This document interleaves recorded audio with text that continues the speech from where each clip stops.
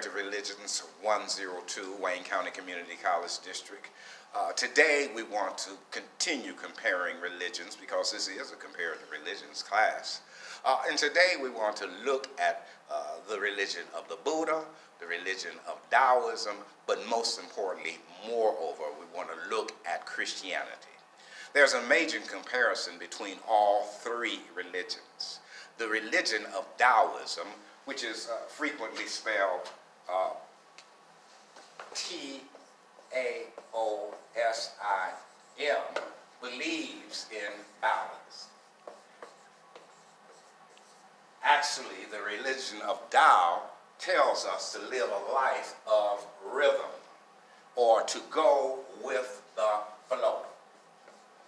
Uh, just as one of my favorite movies tells us uh, that we need to experience Kuma Matata. If you remember, uh, the Lion King uh, was lost, and the Lion King went to an area that was his refuge or his sanctuary, and he met two friends. And those two friends told him that he needed to live a life of Hakuna Matata, which is Swahili, which means don't worry, get balance in your life. Uh, so therefore, Taoism tells us to have balance and go with the flow. The other is the religion of the Buddha. Uh, the Buddha tells us that we should find a middle way.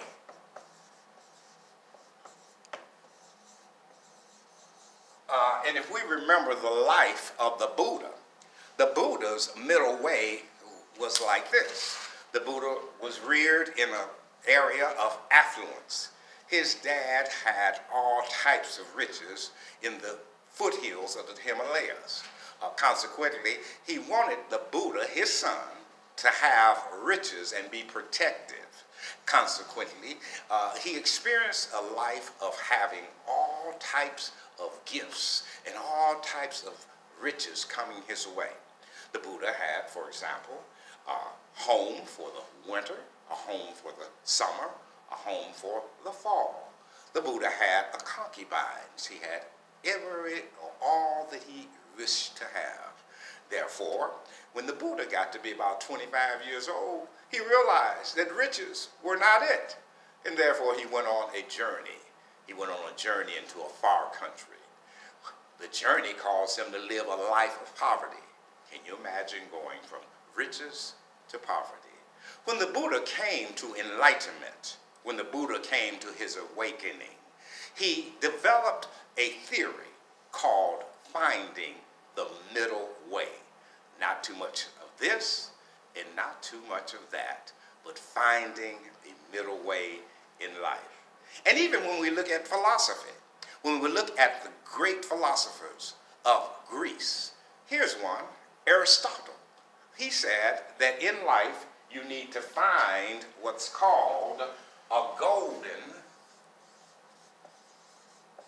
mean. In other words, you've got to live life like it's golden, as the song says, golden, golden.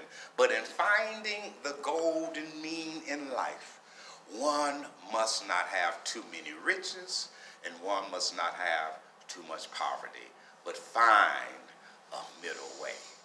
But the one that stands out, the religion that stands out above all religions is Christianity because Christianity desires for you to find a centering point in life. Find a point in life where you are well balanced, well equalized, well centered.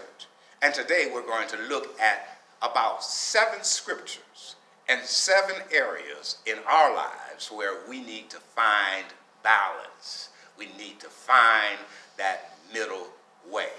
Well, first of all, we need to know that Christ means an anointing. And then if you are Christian, Christianity means that you are Christ-like. So all these scriptures that I'm going to show you are regarding you living a Christ-like life. Here we are. Let's find the middle way. But for brevity today, I'm going to say let's find or what is your middle C? My idea of a good weekend is curling up with a book and reading a book. I try and read a book a month. This month, even though the book was written in 2017, here I am taking on one of the most fantastic books that I should have read a long time ago. And that is a book written by Michelle Obama, and the title of the book is Becoming. Now, I must admit, I only got to the first two chapters. But there is an area that stood out in the first two chapters that has been like a light bulb that has gone off in my mind. Michelle Obama writes this that when she was a child, in learning how to play piano, she had to find the middle C. And she coined that phrase in the first two chapters. She said that her and Barack have become the first family only because they have found the middle C in life. They have learned to live the Hakuna Matata. They have learned to find the middle way. They have learned to go with the flow. And today I'm urging you guys in this class to find your middle C. What is your middle C? When Michelle was a child, she lived in a two-family flat in Chicago. She lived in a typical urban household like many of us. Downstairs might have been a little larger because that was where her Aunt Robbie lived, and Aunt Robbie was a piano instructor. And then there was upstairs where she, her mother and father, and her older brother lived. Aunt Robbie was a typical school teacher you know, one of the school teachers we probably came in contact with when we were younger. She was very stern, very rigid, and she said that Aunt Robbie made her living by teaching the piano. Every day, Michelle said she'd wake up early in the morning and she'd hear the rhythm and the beat of pianos of children who are learning play the piano. It'd go on all day long until the evening. So she said when she got to be about five years old, she began to take her first piano lessons. She felt like since she heard her aunt all those times teaching young people and hearing the rhythm and the melodious beats, and she could hear the flow of the piano going from downstairs upstairs, she said that she felt that she would be an expert the first time she played the piano. So down the stairs Michelle went.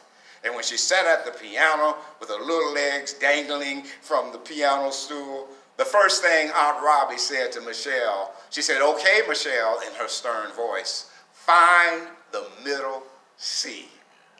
Michelle said she panicked because she, thinking that she could automatically find the middle C would be difficult or be easy, but uh, uh, suddenly it was difficult for her. She looked and she looked and then she remembered that there was a chip on the middle C, and therefore she could go right to that chip on the ivory of that middle C.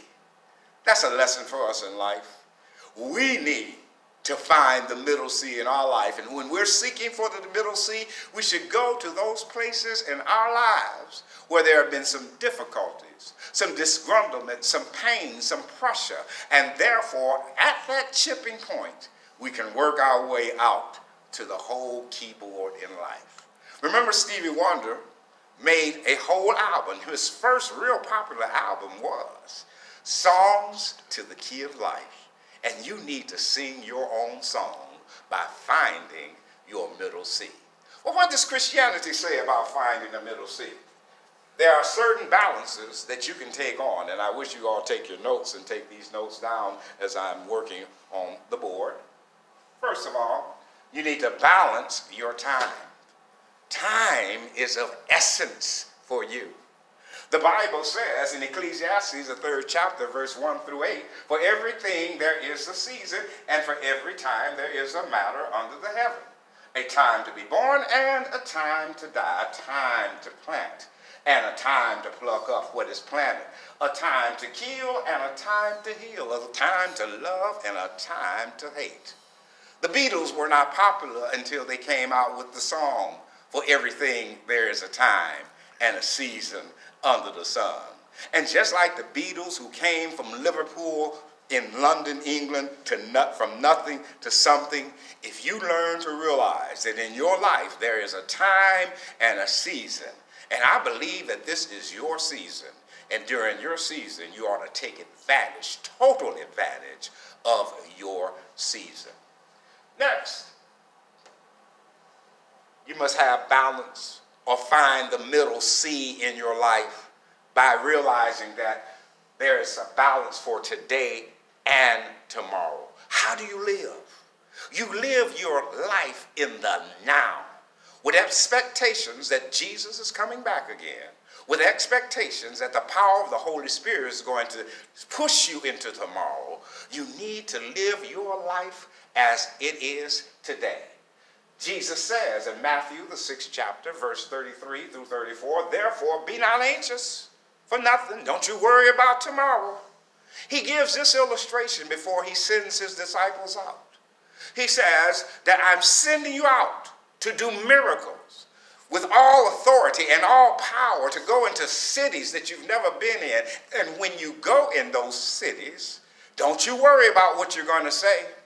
All you've got to do is open up your mouth on my behalf and speak with the power of the Holy Spirit, and the Holy Spirit will put words in your mouth that will be healing for others.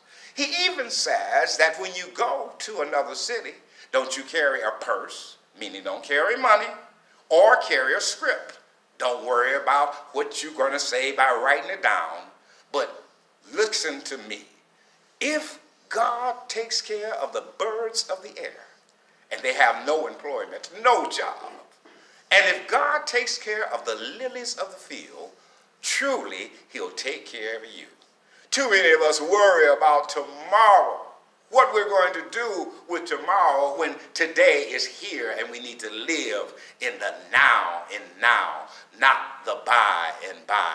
And God will take care of you. So balance your today with tomorrow. What is the other aspect? You need to balance your time with moral people. Balance with moral or ethical people. Second Peter, the third chapter, verse 17 says, Take care that you are not carried away. Notice that term, carried away with the error of lawless people. Here's one for you. Check this out. Jack and Jill went up a hill to fetch a pail of water. Jack fell down and broke his crown, and Jill came tumbling after. Have you ever looked at it from a philosophical perspective? Here Jack is. He's going up the hill, and Jill is following Jack. Jill is not the one who fell. But she came tumbling after him because she followed him senselessly. Think about it for a moment. In our lives, many times we follow people who are lawless. There are certain cases. For example, in Detroit, if you're riding with someone who has a concealed weapon in their car and they don't have a license for that concealed weapon, and you're just riding with them, and they happen to get stopped by the police. Guess who's going to jail? The person who drove and you who are the rider because you're just like Jill who followed Jack up a hill and came tumbling after. You say, well, wow, I may not drink, I may not do drugs, but if you're in a house and someone's doing drugs and you're not doing the drugs, you just happen to be there, you are following a lawless person, and if the police come in and arrest the person who is in the house, you will be arrested also. So therefore, we should not follow lawless people in our lives. What's the other area that we need to find the middle C in in our lives? We need to find the middle C in our lives when it comes to balance of our money balance of your money account. According to Hebrews, the 13th chapter, verse 15, you need to keep your life free of the love of money. Make sure that money does not rule your life and keep a balanced account in your life. You need to find that middle C, or as some people used to say, find that C note in your life. Find that middle C in your life as far as your money is concerned. Let's do some calculation right now. For example, you say, I may pay the lottery sometimes, but I don't play it all the time. But when I play the lottery, I do. And you say, well, I play the lottery, and I play the lottery a dollar a day. Now, there are 365 days of the year. And if you play the lottery a dollar a day, and you have not won the lottery in the year, you spent $365 on the lottery. You need to balance your accounts and think about balancing your money. For example, think about the casino. You say, well, I go to the casino, but I don't spend but $10 a day. Do you realize spending $10 a day at the casino is $3,650 a year? You need to balance your money. The Bible says that the love of money, not the lack of money, but the loving of money is the root of all evil. Money won't change it, as James Brown says. If you love God, he will bless you with financial revenue. If you love God, he'll make things happen for you. So you need to find the middle C in your life as far as your finances are concerned. Balance your checking account. Balance your savings account. Balance the monies that you spend on social activities. Balance your money and God will bless you. I wanted to make this little statement right here. For example, if you look at a dollar, on every dollar there is this right here. Notice, that looks like a what? A serpent. And if that becomes all it is to your life, you might as well put this through here and strike it out. Because that's what it's all about when you love money. The next area that I like to cover is you need to balance your worries. Stop worrying so much. The Bible says in 1 Peter 5 7, Cast all your cares on him because he cares for you. Who is the him? The him is the Lord Jesus Christ. When it comes to balancing in my life, I balance through the love of Jesus Christ. This is my C, my middle C. Balancing your life through Jesus Christ. Would you go with me to Calvary? When you go to Calvary, it is a hill set in the center of Jerusalem, the middle sea of Jerusalem. On Calvary, there was a cross to the right, a cross to the left, and a cross in the middle. In between the two was the middle sea. Cast all your cares on Jesus, for Jesus cares for you. The next C that you need to balance, you need to balance your comfort level. The comfort level that you have in life. Remember, there are two natures in you. There's a nature of good and there's a nature of evil. That's within you, residing within you. I frequently say this poem. There are two natures dwelling within my breast. One is foul, the other is blessed. The one I love, the other I hate. The one I feed will dominate. You need to balance the level of your life, find that middle C, hit that harmony, and bless your life by finding that middle C.